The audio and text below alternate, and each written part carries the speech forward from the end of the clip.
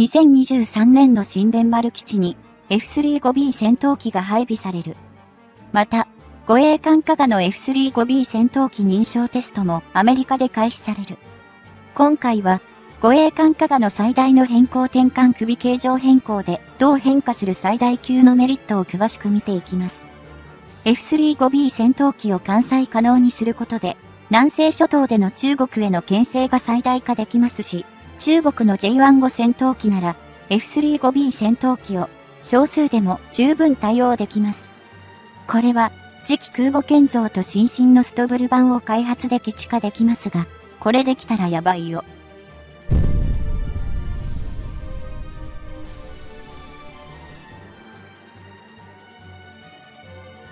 海上自衛隊が保有、運用中の艦艇の中で、最大の規模を誇る椅子も、型ヘリコプター搭載護衛艦 DDH は、1番艦でネームシップの出雲、2番艦の加賀の2隻が存在しているが、今、まさに航空母艦化改修が進められている。この航空母艦化改修とは、これまで回転翼機の母艦として運用されてきた椅子も、型ヘリコプター搭載護衛艦に対し、固定翼機で、いわゆる第5世代戦闘機であるアメリカは、ロッキード・マーチン社製の F35 ライトニング 2B 型を艦載機とするためのものだ。こうして出雲、型ヘリコプター搭載護衛艦が航空母艦化改修を完了した後には、艦載機である F35 ライトニング 2B 型を運用可能な軽空母となることが目的とされているわけだが、ついに海上自衛隊も航空母艦を保有する組織となる。これまでの政治的な日本政府の立場からすると、1950年代の見解とは、家自衛隊が保持しないと表明してきた3つの兵器の具体例に、この椅子も、型ヘリコプター搭載護衛艦の航空母艦化は抵触するのではないかとの意見も散見される。米ソの冷戦時代の始まりであり、かつ、太平洋戦争の敗戦の記憶が鮮明であった時期には、日本は自衛のために自衛隊を組織するが、大陸間弾弾道弾、戦略爆撃機、攻撃型航空母艦等の兵器は保有しないと説明されてきた。今回椅子も、型ヘリコプター搭載護衛艦に航空母艦化改修を施すことは、ここで言われた攻撃型航空母艦の保有に当たるのではないかと、一部の団体から非難が寄せられている状態だと言ってよいだろう。しかし、1950年代に挙げられた大陸間弾弾道弾、戦略爆撃機、攻撃型航空母艦等の兵器を自衛隊が保有しないという政治的な見解は、それらが、もっぱら、敵国の破壊のみを目的とした、いわば大量破壊兵器に該当するからというのが主たる理由だった。確かに、この2023年末においても、大陸間弾道弾の保有は核兵器保有国に限定されているし、戦略爆撃機に至っては、今や保有国はアメリカ、ロシア、中国の三大軍事大国しか存在しないという非常に稀有な兵器と化している。これに比べて、航空母艦は、アメリカ、イギリス、フランス、ロシア、中国は、元より、インド、イタリアなども運用を行っており、おおむね、海洋国家としては、昨今の世界的な軍事的な状況を鑑みても、保有が即攻撃的だとは言い切れないように思える。そもそも、世界的な軍事の尺度から見て、航空母艦を攻撃的か否かと議論しているような例はなく、日本が当時置かれた1950年代の政治状況の中で、時の政府が苦し紛れに答弁した回答に過ぎないと言うべきだろう。昨今の日本は、中国による南西諸島方面への軍事的な圧力の増大にさらされており、その状態から抑止力を得るための方策の一つとして、出雲型ヘリコプター搭載護衛艦を航空母艦化することを選択したに過ぎない。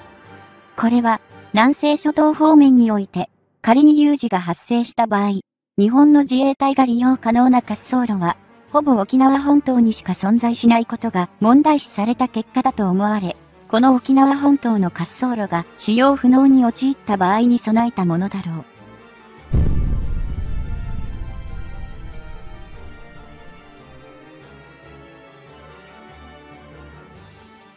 また、現状では、沖縄本島に配備されている航空自衛隊の戦闘機は、いわゆる第4世代戦闘機とされている F15J イーグルのみであり、今後、F35 ライトニング 2A 型が追加配備される可能性も全否定はできないが、地上喪失のリスクを伴う。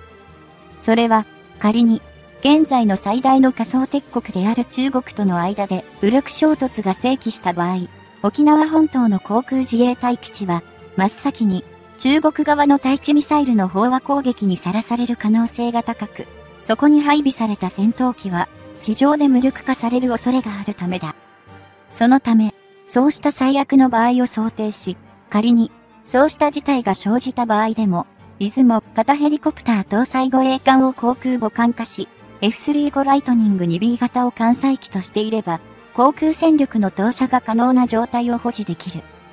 短距離離陸、垂直着陸が可能な特殊な構造を持つ F35 ライトニング 2B 型は、並走の最大積載量もベースの A 型の8.165トンより少ない6.804トンで、さらに航続距離も短いが、南西諸島の防衛には必須の航空戦力となることが期待される。さて、そんな F35 ライトニング 2B 型の運用を狙った出雲型ヘリコプター搭載護衛艦の航空母艦化改修工事だが、1番艦出雲、2番艦加賀、ともに2023年末時点で、まず第1回目の主要な工事が施された状態である。2番艦の加賀は、正確には、第1回目の航空母艦化改修工事は、2023年度末までが予定されているが、2023年11月には、出雲に先駆けて、全通式の飛行甲板の先端を拡幅する大工事が完了し、同月中に、一旦、海上でのテスト航行を行っている。2021年度から開始されていた2番艦、加賀の航空母艦化改修工事には、この、最も大掛かりな飛行甲板の拡幅工事が盛り込まれていたため、総額でおよそ260億円を超える工事費が投入され、無事にこれを終えている。逆に、1番艦の出雲は、2024年度より、この飛行甲板の拡幅工事を含む第2回目の航空母艦化改修が予定されており、現時点では、出雲、加賀、ともに、2027年度までに、すべての改修工事を終えるものとめされている。航空母艦化改修が、完了した出雲型ヘリコプター搭載護衛艦の2隻は、F35 ライトニング 2B 型を艦載機として運用する場合、艦内に収容可能な同機の最大数はおよそ10機前後とも言われており、決して大量の機体を運用するとは言い難い。出雲型ヘリコプター搭載護衛艦は、基準排水量で19,500トン、満載排水量で26,000トン、全長248.0メートル、全幅38.0メートルを誇る、海上自衛隊では、最大規模を持つ艦艇ではあるが、航空母艦として見た場合に大きいとは言えないだろう。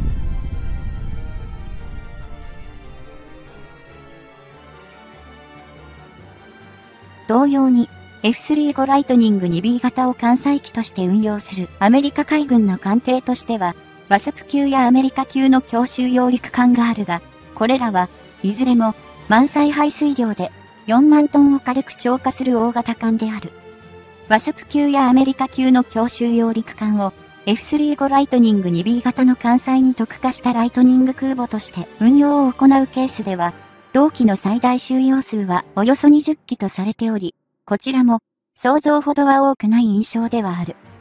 それでも F35 ライトニング 2B 型のようないわゆる第5世代戦闘機の戦闘力は前にあたる第4世代機と比すればそのステルス性能ゆえに飛躍的に向上していると言われており少数でもキルレシオで上回るとめされている。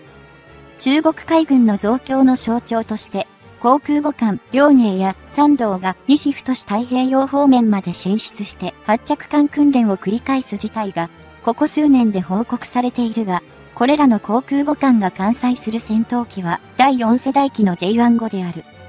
したがって、日本や在日米軍にとっては、F35 ライトニング2のようなステルス機を投入すれば優位に立てる状態であり、かつ、また、2023年末に、ロシア・ウクライナ戦争でロシア軍の第4世代機が多数撃墜された事実からも、同様の展開が可能だろう。少なくとも、日本もライセンス生産にて装備するペトリオットのような防空ミサイルは、第4世代戦闘機に対しては非常に有効であり、その航空機に対してはおよそ 200km ほどとも言われる射程距離内ならば、高い確率で撃墜が可能と考えられる。そのため、南西諸島で中国軍と対峙する場合の航空上の脅威は、陸上の基地に配備された中国国産の第5世代戦闘機と検伝されている J20 になると思われるが、そのステルス性能が自称するほどではないことを願ってやまない。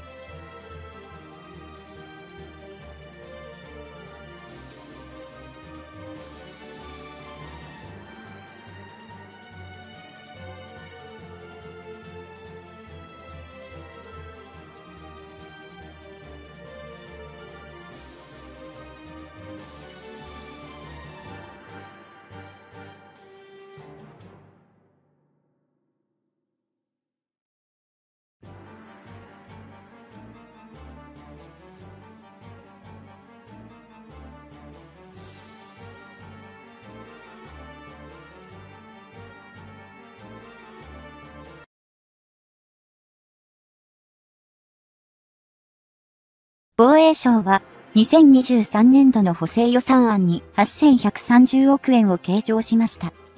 その大半は、鹿児島県曲島へのアメリカ軍機訓練移転に伴う自衛隊基地整備に充てる計画であるという情報が入ってきたので、今回は、この曲島の現状について見ていきたいと思います。曲島の整備費は、間もなく1兆円に達しようとしているそうです。そうなると、曲島の購入代金160億円はなんだか安かったと感じてしまいますね。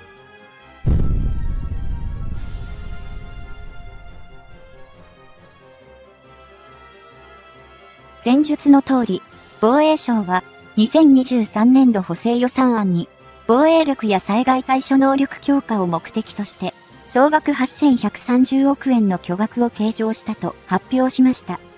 鹿児島県西之表市曲島兵アメリカ軍機訓練を移転するのに伴う自衛隊基地整備経費分として、歳出ベースで2684億円を充当、渓流施設や滑走路などの整備のスピードアップを図る見込みです。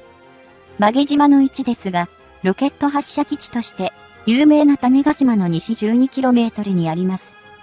住民登録されているのですが、実質的には無人島ですし、用地買収問題などもあったので、ご存知の方もいらっしゃるでしょうね。アメリカ軍再編関連予算は3169億円ですが、曲島整備経費は、その大部分を占めています。契約ベースでは839億円、環境調査や詳細検討なども含めた12年度からの予算をずっと積み上げていくと、合計8519億円にも達したのです。24年度予算では、より一層の上積みが予想されますから、1兆円がすぐ間近にまで迫ってきているのです。同省によると、工事の進捗に応じて、年度内の支出分が増えただけでなく、人件費や資材単価の高騰で、当初予算の見込みより経費が増えたということです。工事が順調に進んだため、経費が増えたということでしょうか。物価高は、この工事に限らず、どこでも同じですけど、24年度予算概算要求では、曲島内で最新エステルス戦闘機 F35B 訓練施設の整備を進めるための予算として約64億円も計上しています。自衛隊の基地は都市近郊にも多く、当然、その周辺には人家も多いので、どちらが先かという問題は無視できません。騒音被害や基地活動と周辺市街地の生活が交差して、双方にストレスやトラブルが生じることになり、機能不全問題が増えつつある状況は知られていますね。そういった状態では、曲島のような無人島を活用したり、基地の再配置を検討したり、防衛基地のあり方を根本的に見直す事例になるのではと考える向きもいるようですね。日本の場合は、列車や自動車で移動しても、街や人家が途切れることは大度ありません。よほどの僻地や山奥でなければ、人間の生活域となっているのです。余談ですが、それが、ここ数年の熊の行動範囲拡大の一因とも見られていますね。でも、一番は、日本の面積の狭さが、様々な点でネックになることが多いようです。国家の公共福祉や防衛政策であっても、国民一人一人の生活をないがしろにしてはならないのは当然です。国民の命と生活を守ることが国防ですよね。しっかりとした対策と保障を行うことが政府の責任なのは言うまでもないでしょう。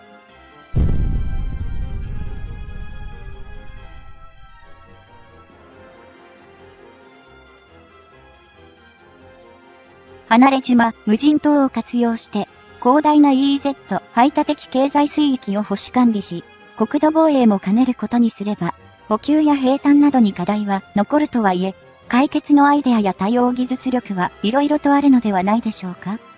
いずれにしても、国土防衛の前線基地はどうしても必要なのだという意見も多々あります。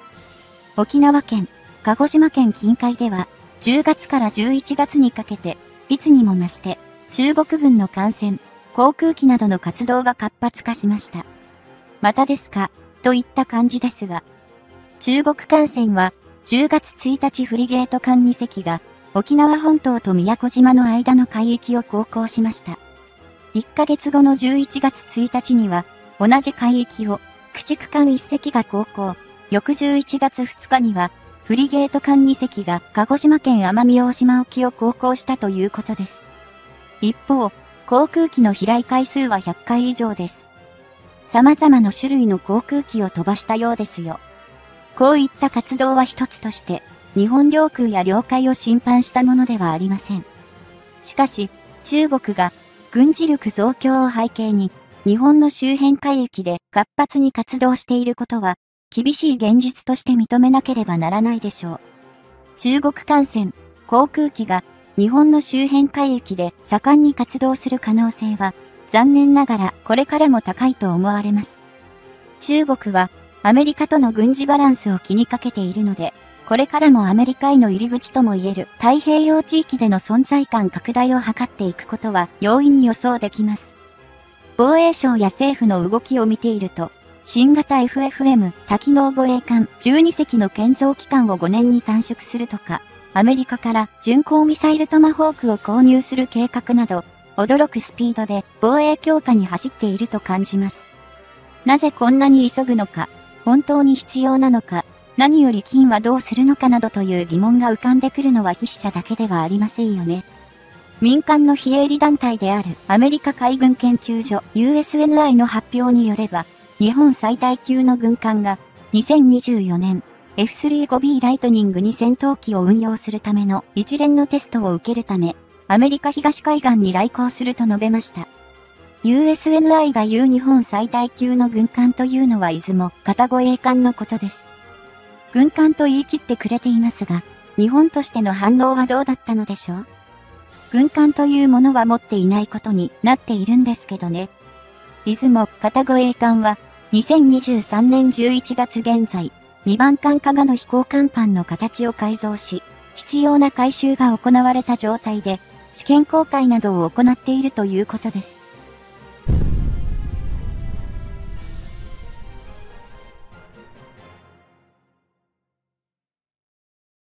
日本側の視察団は、10月末にアメリカ東海岸で大西洋沖を遊弋するイギリスの航空母艦プリンス・オブ・ウェールズ上で F35B 戦闘機の運用試験を視察したそうです。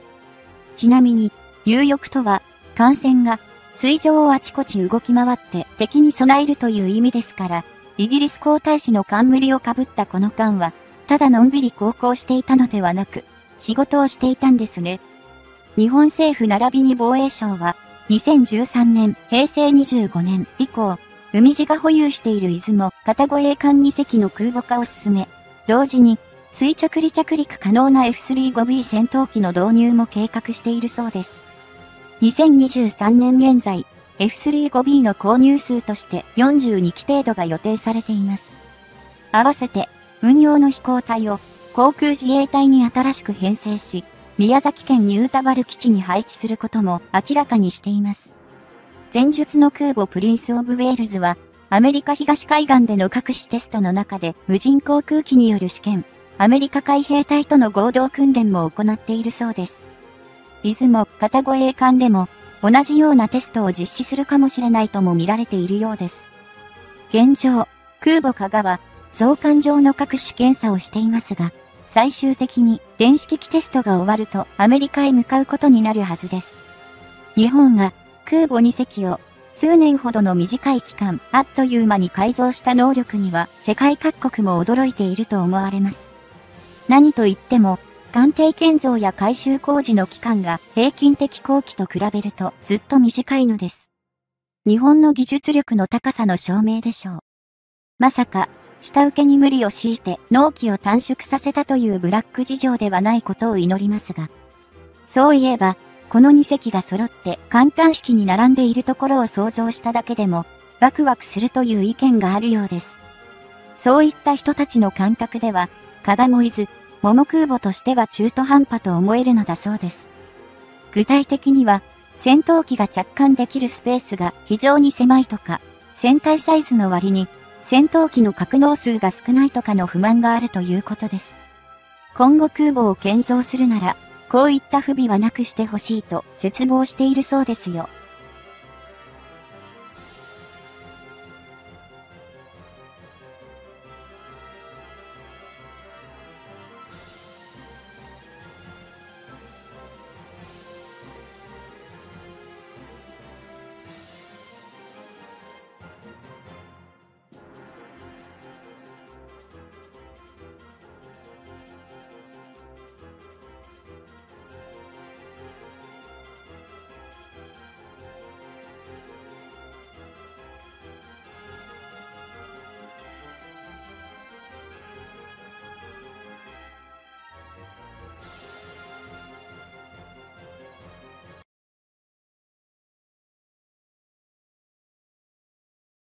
防衛省が本腰で開発している次世代レールガン開発に、2024年度の予算が236億円閣議決定との情報をキャッチしました。今回は、世界が羨む日本次世代レールガン開発に、2024年度236億円閣議決定を詳しく見ていきます。僕、厚鉄板貫通で開発加速、120連射にも次はトライしていきますね。もはや中国はやめてくれの中国民の声が聞こえてきますね。レールガン開発はアメリカでも中止された非常に難しい開発になっています。AI レールガン開発かな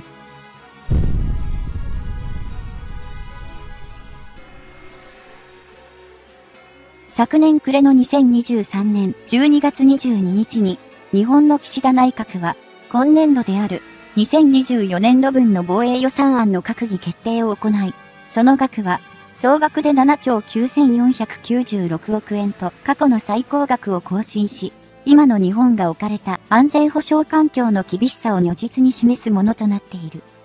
2024年度の防衛予算案の中でも注目されている使途としては、敵の防空ミサイルの射程圏外から攻撃を行うことが可能なスタンドオフ能力の強化が大きいと思われるが、これも時代の流れを反映したものと言えるだろう。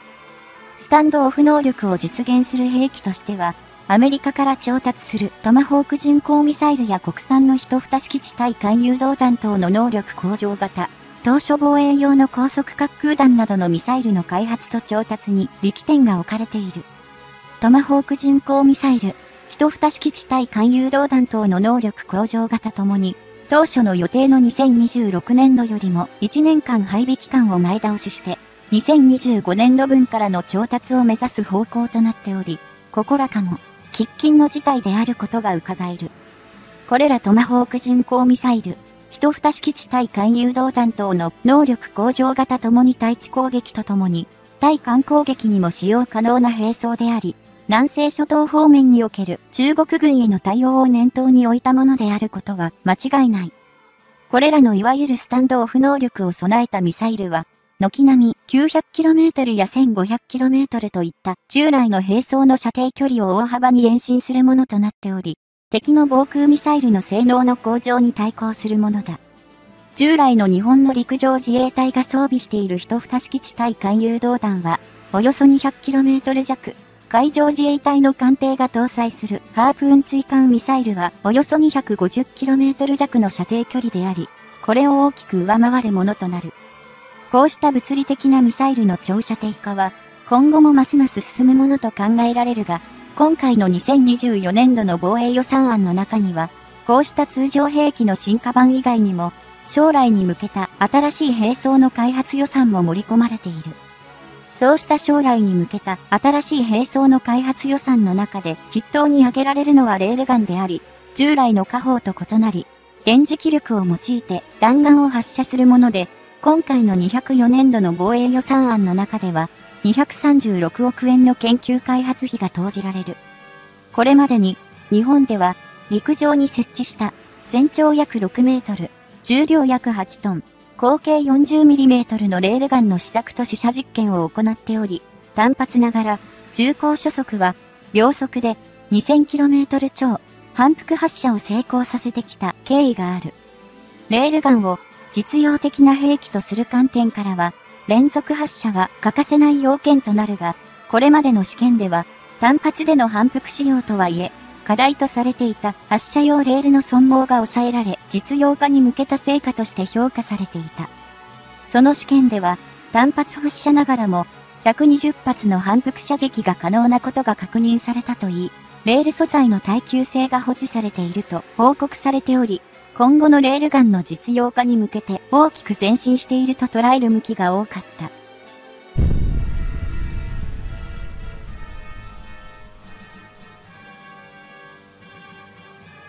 こうした動きの延長線上で、2023年10月には、防衛装備庁は、海上自衛隊で、唯一の試験艦である、アスカに、試験用のレールガンを搭載して、世界で初となる洋上でのその試射に成功したことを公表、大きな話題となった。試験艦アスカに搭載されたレールガンの使用は、大きさや口径を含めて未公表ではあるものの、動画で発射時の映像が公開されており、やはり重高初速で、秒速で 2000km を超過し、射程距離もおよそ 200km に及ぶと説明されている。さらに、このアスカの試験におけるレールガンは、発射速度も毎分10発以上であると言われており、これが事実であるとするならば、かなり今後の実用化に向けて大きな一歩となる可能性があると考えられている。この試験艦アスカにおける日本のレールガンの開発が大きな注目を集めた要因は、かつては、その開発で先行していたと、おぼしきアメリカが、日本よりもはるかに大口径、長射程であった、その開発を中止していることが挙げられるだろう。アメリカ海軍では、最終的に、重高初速で秒速 2500km 以上、重量で 15.0kg の銃弾を、およそ 370km の射程で発射可能なレールガンの開発を行うことを目標に、2005年からその研究を開始していた。このアメリカ海軍によるレールガンの開発には、BAE システムズ社とジェネラルアトミックス社が試作を担当し、合計で 90mm、重量 10.4kg の銃弾を重高初速で秒速 2700km 以上で発射することに2010年末に成功している。この成果は前述したアメリカ海軍が描く最終的な数値目標の達成にかなり近似値であると見さされていたが、この間にも最大の仮想敵国である中国等が開発を進めているとされる、極、超音速兵器に対しては優位性が損なわれたとめされた。そのため、アメリカ海軍としては、仮に、使用通りのレールガンが完成したとしても、有用な兵器足りえないという判断を下したものと思われ、既存の VLS、垂直発射管から運用可能な迎撃ミサイルの開発に注力するのだと解釈されている。アメリカ海軍が開発を進めていたレールガンも、その銃弾自体の弾頭重量は 15.0kg と決して大きなものではなく、切れ、故に高速度で打ち出すことが可能となったと思われるが、その大きさで精密な誘導装置を組み込むことは困難なのだろう。現在の兵器としては、精密誘導による精緻な命中精度を確保することは必須の条件だと言え、レールガンの実用化にこぎつけたとしても、その点で有用な兵器とならないであろうと判断されたことは想像に難くない。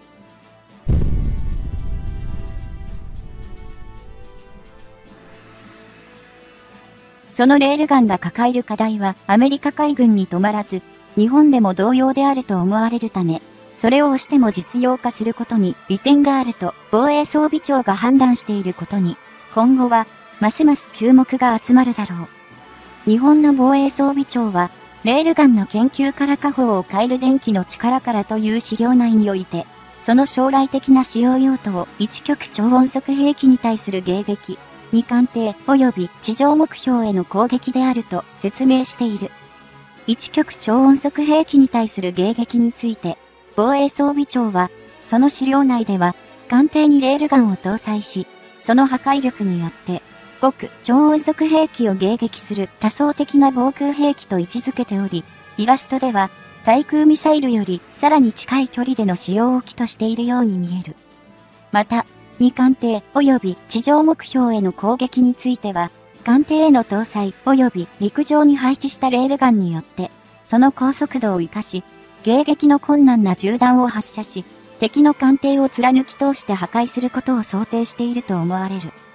これは、具体的には、資料のイラストを見る限り、日本に接近する中国海軍の艦艇を攻撃する一手段として想定しているとめされ、敵の領域に侵入していくことを前提としているアメリカ海軍の運用とは異なる、まさに防御兵器を施行しているのだろう。また、今回の2024年度の防衛予算案の中には、高出力なレーザー兵器の研究に31億円、高出力マイクロ波兵器の研究に26億円が投じられることが盛り込まれており、主として無人航空機等のソフトキル兵器を想定しているとめされる。今年2024年で丸2年を終えようとしているロシア・ウクライナ戦争においても、ロシアの自爆攻撃を行う無人航空機に対しては、迎撃コストの低さから従来の機関砲が見直されているが、レーザー兵器や高出力マイクロ波兵器はその上位互換だと思える。